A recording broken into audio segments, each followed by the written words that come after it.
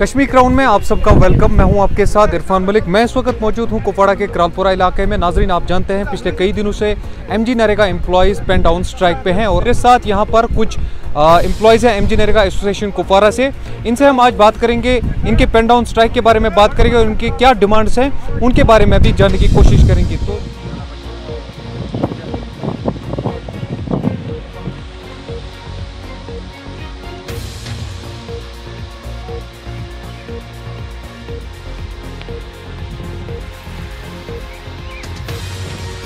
इरफान साहब एक्चुअली हमारा जो मुद्दा व मकसद है, वो ये है कि हमारी कुछ जेनवन डिमांड्स है जो हमने गवर्नमेंट के पास रखी है।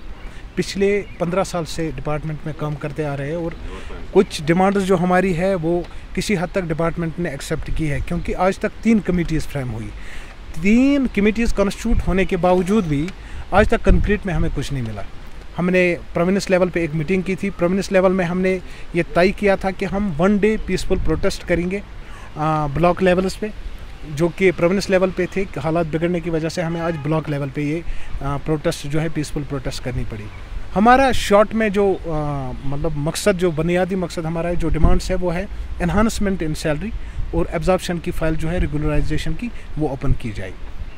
और दूसरी बात जो है कि आ, ये जो प्रोटेस्ट है ये ब्लॉक लेवल पे थी इस समय हम डिस्ट्रिक्ट लेवल पे जो है जमा हुए हैं। ये मेरे कुछ ब्लॉक प्रेसिडेंट्स हैं जो डिस्ट्रिक्ट एसोसिएशन से ताल्लुक़ रखते हैं। मैं आ, अपने डिस्ट्रिक्ट के जितने भी एम्प्लॉयज़ हैं उनको मैं बज़रिए मीडिया ये आ, गुजारिश करता हूँ कि वो शाम तक हमें क्लियरली बताए कि हमें इस स्ट्राइक को जो है एक्सटेंड करना चाहिए या हमें कुछ और इकदाम उठाने हैं। तो उनके लिए मेरी ये मैसेज रहेगी कि शाम तक वो क्लियर करें। सबसे पहले आपका यहाँ आने के लिए शुक्रिया।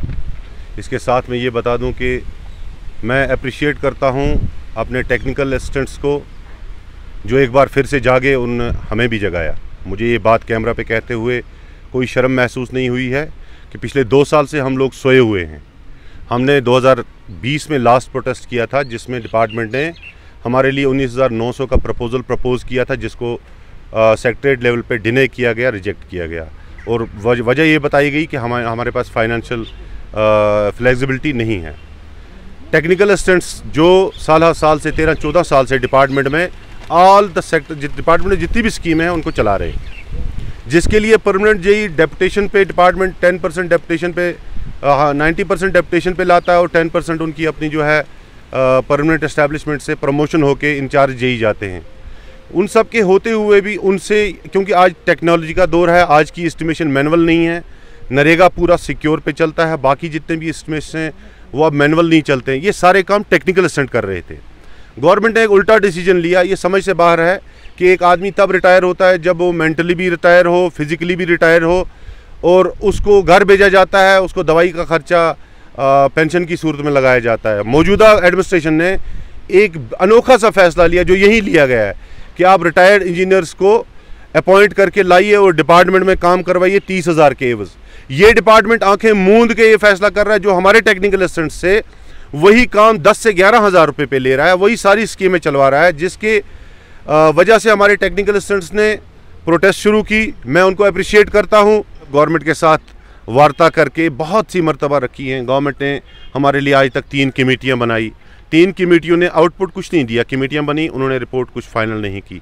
गवर्नमेंट ने हमारी एब्जॉर्प्शन फ़ाइल बनाई 2018 में शीतल नंदा की जब चेयर शी टीयर थी कमीशन सेक्रेटरी की।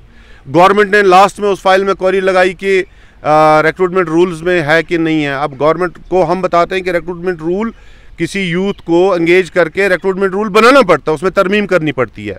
वो फ़ाइल भी 2000 से लेके अभी तक ठंडे बस्ते में पड़ी हुई है, उस पर कोई मजीद काम नहीं हो रहा है।